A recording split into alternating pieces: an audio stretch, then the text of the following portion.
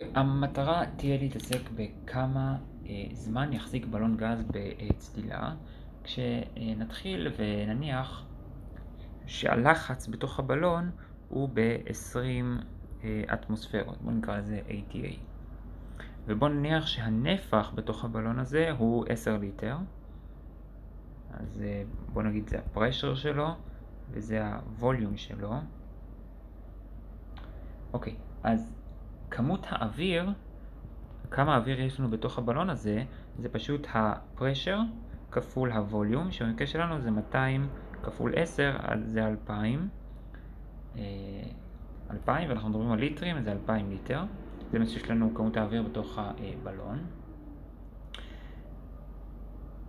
עכשיו, כשאנחנו צוללים, אז יש גם את הלחץ שאנחנו צריכים להתייחס אליו, שהוא בואו נקרא לזה פיתג, שהוא תלוי בעומק, ובואו נקרא ל-D העומק.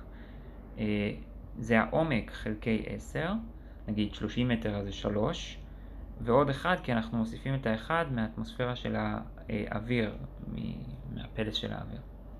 אז אני יכול לחשב אה, את הלחץ באטמוספירות אה, בצורה הזאת, שוב פעם זה יהיה ATA פשוט. עכשיו עוד מה שאנחנו יודעים, ש...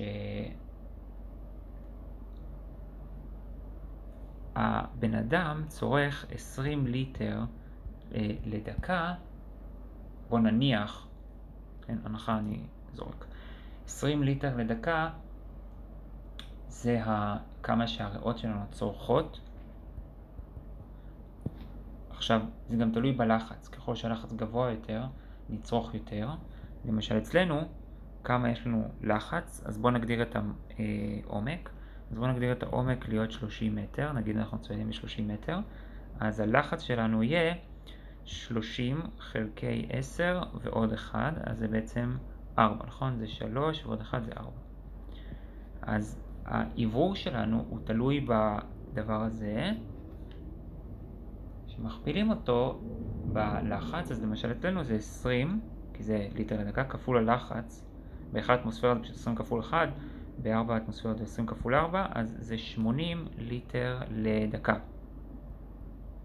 אוקיי, זה מה שאנחנו נצרוך בעומק של, שהיה לנו עכשיו, של 30, של 30 מטר.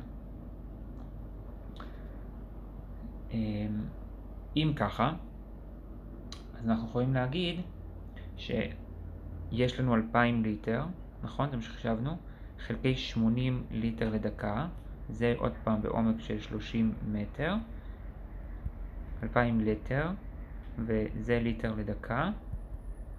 אז זה יגדיר לנו כמה זמן אנחנו יכולים לנצל את הבלון הזה זה יחידות, בעומק שדיברנו עליו. אז כמה זה 2,000 חלקי 80? זה כמו 200 חלקי 8, שזה כמו 100 חלקי 4, שזה בעצם 25, ומה היחידות? אז תסתכלו מה קורה עם היחידות, ליטר חלקי 1 אפשר להגיד, חלקי, זה היחידות, ליטר לדקה, אז הליטר מצטמצם, המינט עולה למעלה ויש לנו יחידות של מינטס, אז אכן יצא לנו אה, בדקות, זאת אומרת שהבלון הזה יחזיק 25 דקות. עכשיו לשם השוואה, אם אנחנו מדברים על עומק של 0, כלומר אנחנו ב...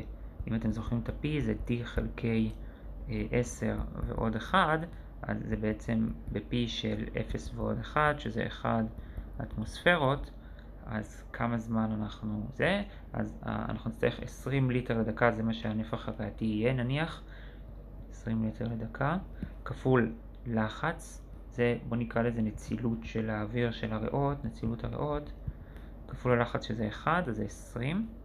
אז פה יהיה לנו 2,000 ליטר של בלון. שוב פעם, איך הגענו ל-2,000 ליטר? הבלון הוא ב-2,000 אטמוספירות, והנפח שלו הוא 10 ליטר. אז יש לנו 2,000 ליטר של, של אוויר דחוס, אז 2,000 חלקי 20 זה 100, והבנו שהיחידות הן בדקות.